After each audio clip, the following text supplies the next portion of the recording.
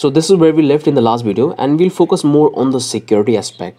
Let's open up your terminal and we can bring this up, bring the terminal up and here we're going to install one more package which called Helmet which allow us to solve pretty much a lot of problems. So we'll have to install this package and just wait helmet package so simply clear the terminal and bring this down and let's utilize it so first we have to install it. So let's write it down. So we'll take helmet and it's coming from helmet. This is the package we have installed. Looks pretty good. Simply copy that one bring it up here. And this the best place is to call here because this is the best place because first it will run and then the other thing will run. So we'll say use and that we have to pass that helmet. And that's it this one is actually a middleware. If you look at this package in a in a github you will find that it's a middleware. And it will set a couple of property in your header. So here we have to simply let me just give this comment so it's for rate limit. Simply grab that one and let's come here. And this one is called for let's change this to secure header. So in that we have to send the data.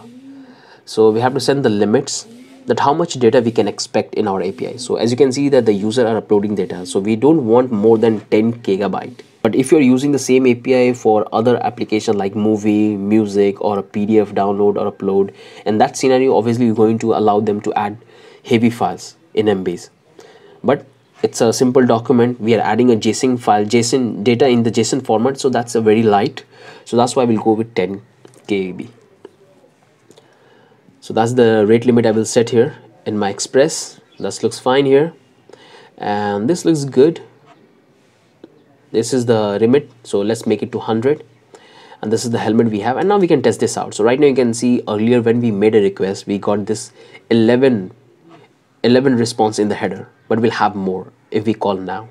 So let's come to the body hit the request and here we got the data. If you can see right now we have 22 and here you will have all these data. So content security policy cross origin bordered policy all this data is added by this helmet package.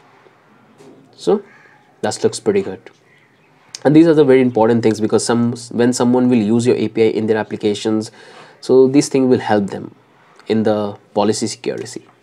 Otherwise they can't use your API so let's come back to the API package and here you can see they have this bunch of methods these are the default methods. So you can specify that what methods you want to use by typing all this value. But by default it will automatically imply all of this value. You can see all of this value by default. Here you can specify that. So these are the methods you, you can call it individually. So there is a lot of things. Come and check from your end but the default is fine to use. And that's the only thing I want to cover in this video. Hope you guys have got the idea that how you can set the headers in your API with that let's move to the next video